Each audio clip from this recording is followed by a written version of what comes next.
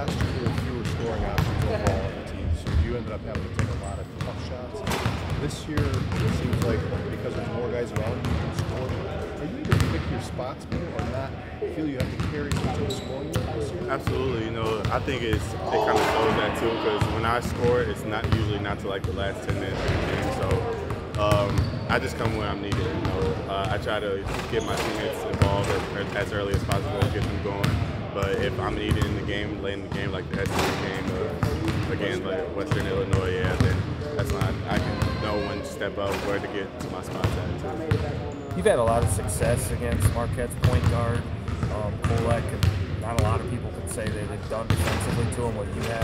But what have just been the keys these last two you know, head-to-head matchups against him that's worked for you? Sure, he's a great point guard. Um, I think he uh, facilitates really well. You know, he's a great scorer great defender as well. So um, just to go in and you know play against another tough point guard like that, you know, this is what, this is what you want. It's, uh, so what you really want to do, you know, play big games like this. So you know to be able to go out and just be able to produce against a, a great point guard like that, you know, really nice. I feel like you grew from last year's game. I mean, you hit a bunch of big shots in the lake going on the road. It's it's not an easy situation, and, and you did that. How do you think it kind of helps your confidence having this game in your uh, own court, home court? Yeah, for sure. It definitely gives me confidence, especially knowing my teammates trust me with the ball, my coaches trust me with the ball. So, you know, uh, it just gives me a lot of confidence going in. You know, against SMU, I feel like my teammates really trusted me. Uh, they really wanted me to have the ball, so that gave me a lot of confidence to be able to go out there and just score. Obviously, this is the first game. A couple real games in a row. How are you guys going about trying not to make it like think of it as a three game stretch? Yeah, for sure. We just take it one game at a time. We're focused on Marquette right now. That's all we've all we've been focused on this week. You know, so we're just trying to uh, stay focused one one game at a time. Last year you shot really well from three, your two point attempts. You talk about drives. You weren't.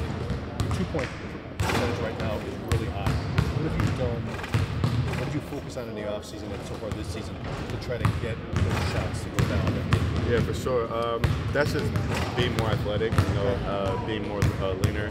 You know, I'm able to elevate off the ground a lot more. Uh, get by defenders a lot more. You know, I'm playing playing more uh, on two feet this year than I did last year. You know, more controlled. So I think that's what that's what it was compared to last year. Is that the plan? Yeah, absolutely.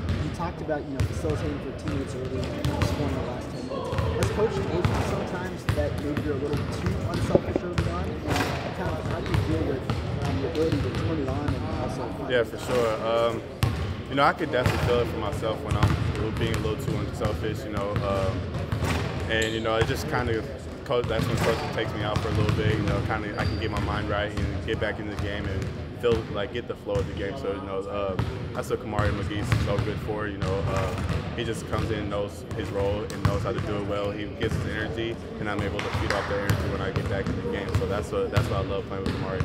Speaking of Kamari, I mean, it seems like you guys have a quartet of strong defensive guards. You, Kamari, John Blackwell, Kind of what has that allowed you to do? Is just increase the intensity? Yeah, for sure. Uh, when we got guards, all of us are on the floor like that, you know, it's really hard to, to score against us because the, the guards, we're just going to eat you up on, on, the other guards up. So that's what we want to do. We want to get out and run as well when all the guards are in the game and just be able to push the tempo.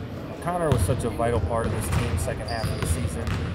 How have you just kind of seen him handle moving to the bench and kind of you know, working his way through the slow start here because of the injury, which I'm sure can affect guys a lot of different ways? Yeah, for sure. You know, uh, you could tell tell Connor's starting to get back to his normal self. You know, he's hit some tough threes in practice, and uh, you know, it just looks like it's normal self again. So I'm happy to see that he's back to where he was at in the beginning of his freshman year, and I'm looking forward to seeing him shine this season as well.